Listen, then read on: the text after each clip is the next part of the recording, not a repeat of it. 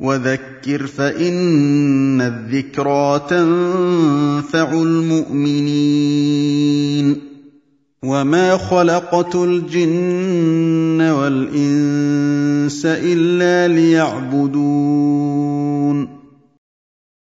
الحمد لله وكفى وسلام على عباده الذين اصطفى. أما بعد. Donc, l'allocution du Cheikh Abdel Ghani Ouisset était des conseils à ceux qui sont euh, engagés dans la prêche ou dans la da'wa Allah dans les pays occidentaux. Il a commencé tout d'abord à dire que la da'wa Allah, la prédication, est la responsabilité et le travail de tous les prophètes. Et c'est un grand travail et une grande responsabilité. Et tous les prophètes ont appelé à Allah subhanahu wa ta'ala et la première chose à laquelle ils ont appelé est le tawhid. Chaque peuple chaque peuple a eu son euh, des prophètes ont, été envoyés pour des peuples et le prophète Mohammed a été envoyé comme miséricorde pour les mondes jusqu'à la fin des temps. Et il a donné l'exemple de certains prophètes qui utilisaient toutes les situations et chaque moyen pour appeler les gens au tawhid, au monothéisme pur et à euh, mettre en pratique et à la mise en pratique du tawhid dans la vie de l'être humain. Même Yusuf salam qui était en prison, quand ils sont venus le voir pour lui demander d'interpréter leurs rêves, la première chose qu'il a fait, il les a appelés au tawhid avant d'interpréter leurs rêves. Et comme ça a été aussi notre prophète Mohammed sallallahu alayhi wa il a appelé au tawhid depuis le début de son message, au milieu de son message, à la fin de son message, il a appelé au tawhid.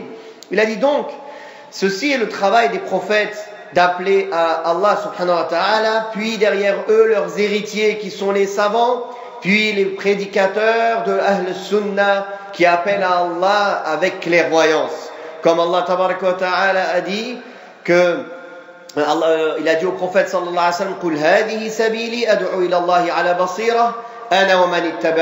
subhanallah wa al Dit, ceci est ma voix, j'appelle à Allah avec clairvoyance, moi et ceux qui me suivent, et gloire et pureté à Allah, je ne fais pas partie des associateurs. Donc voilà la prédication et la prêche du prophète Mohammed sallallahu alayhi wa sallam et de toutes les prêches.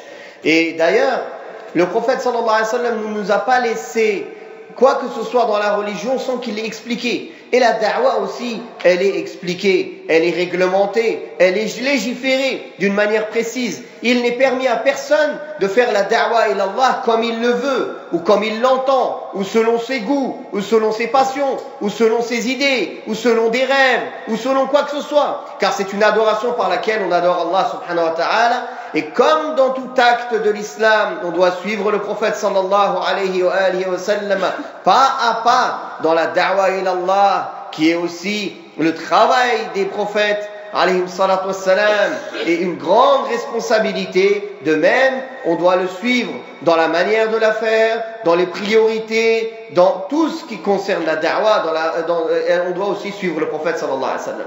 D'ailleurs, les juifs ont demandé, ils ont dit à Salman, euh, anhu, votre prophète, il n'a rien laissé sans vous dire quand il a parlé de comment ils allaient faire leurs besoins. Il a dit bien plus que ça. Il nous a même dit qu'on ne touche pas notre sexe de la main droite et qu'on, quand on se nettoie, on se nettoie avec un nombre impair. C'est-à-dire, il n'y a pas un détail, même dans l'islam, qui n'a pas été expliqué par le prophète sallallahu alayhi wa sallam. Alors, comment la da'wah? La da'wah qui est la chose la plus importante, qui est le devoir, le travail des prophètes, puis des héritiers des prophètes et de ceux qui ont pris cette lourde responsabilité, comment celle-ci ne serait pas aussi expliquée et réglementée, alors que même aller aux toilettes et la manière dont on se nettoie aux toilettes, c'est réglementé? Donc, il convient à tous les prédicateurs de faire la da'wa ilallah subhanahu wa ta'ala et de mettre devant eux comme exemple le prophète Muhammad sallallahu alayhi wa sallam. Comme Allah ta'ala dit, il y a dans le messager d'Allah un bon exemple à prendre pour celui qui croit en Allah et au jour dernier et qui évoque Allah énormément.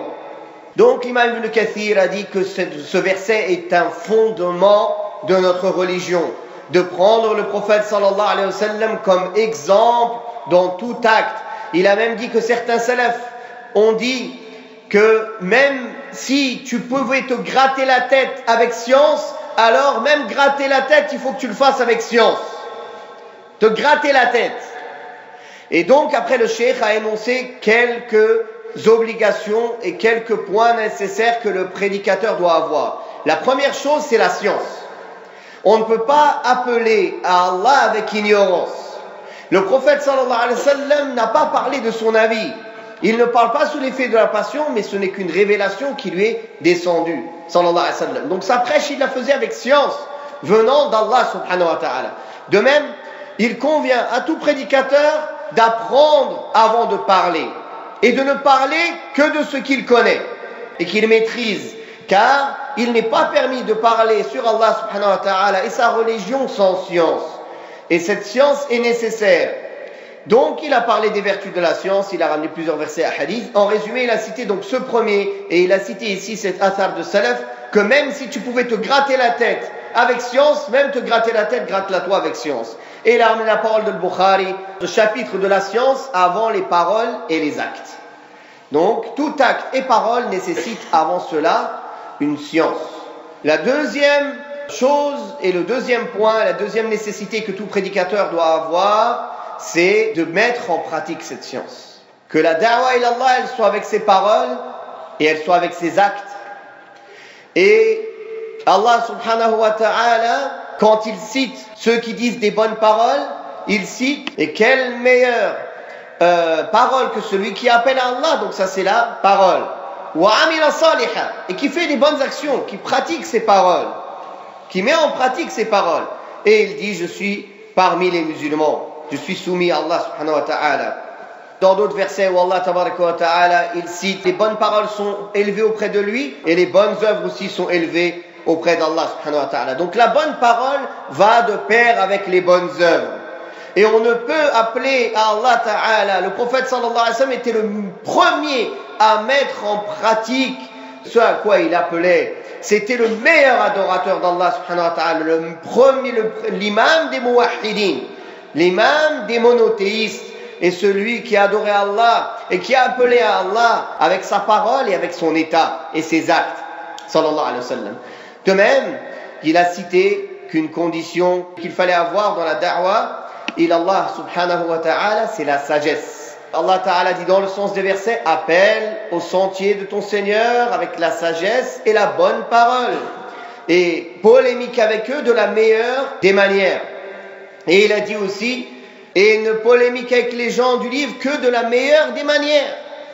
Donc, il a dit, il faut s'éloigner des gens qui utilisent dans la da'wa Allah les moyens qui font des troubles ou qui n'utilisent pas la sagesse ou qui sont là, qui n'utilisent pas la douceur et qui, qui, qui n'ont pas le chemin du prophète sallallahu alayhi wa dans la manière de faire le da'wa Allah alors que le prophète sallallahu alayhi wa sallam bien qu'il lui arrivait parfois d'être dur son caractère général et sa manière générale était d'utiliser la douceur pour appeler Allah subhanahu wa ta'ala donc il a dit il faut s'éloigner des mouchawishin et des fattanin, ceux qui font les fitan ou qui font le teshwish, qui sont là à toujours mettre le trouble, à chercher à faire des troubles, leur parler les qu'autour des troubles et faire le trouble et le désordre. Et utiliser même en cela la manière du prophète sallallahu dans chaque point de la da'wah. Donc la science, la mise en pratique, la sagesse, la haute moralité et le bon comportement. Il a dit il est nécessaire pour un prédicateur d'avoir les meilleurs comportements et les meilleures moralités. Et de suivre le prophète sallallahu dans son comportement et sa moralité.